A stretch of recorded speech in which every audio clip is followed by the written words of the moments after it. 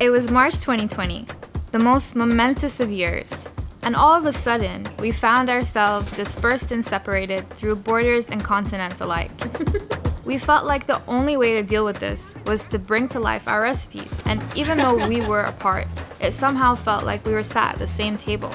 And so, Shelf Love, our little take on self love, was born. A book of rigorously tested recipes from the OTK team